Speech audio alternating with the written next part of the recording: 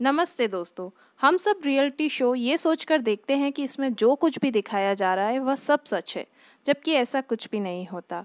कोई भी reality show हो, उसमें आप वही देखते हैं जो आपको दिखाया जाता है। यानी शो बनाने वाले रियलिटी के नाम पर आधा अधूरा सच अपने तरीके से आपके सामने रखते हैं, जो कि पूरी तरह से स्क्रिप्टेड होता है। क्योंकि इन रियलिटी शो का मकसद होता है कंट्रोवर्सी क्रिएट कर टीआरपी बढ़ाना, क्योंकि अगर टीआरपी नहीं होगी तो शो टीवी पर आएगा ही नहीं। इसलिए हर शो में प्लान करके पार्टिसिपेंट को बताया जाता है कि उन्हें क्या करना है, क्या कहना है और कितना कहना है। तो सच्चाई ये है कि किसी भी रियलिटी शो में रियलिटी होती ही नहीं है। तो आज की वीडियो आप लोगों को पसंद आई हो तो लाइक कीजिएगा, शेयर कीजिएगा और चैनल को सब्सक्राइब कीजिएगा। Thank you.